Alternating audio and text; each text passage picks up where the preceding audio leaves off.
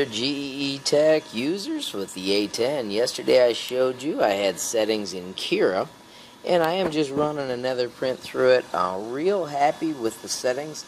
All I did on this one was I changed it so that it was 0.2 instead of 0.3 and uh, this little happy fish is turning out amazing.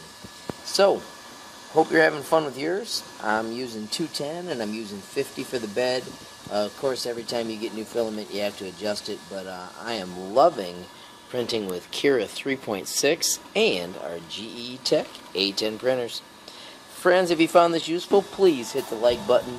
If you haven't subscribed, please hit subscribe. If you want to be the first to know when there's a brand new movie from me, HL Mod Tech, hit that notification bell. And if you got a question or a comment, add it down below.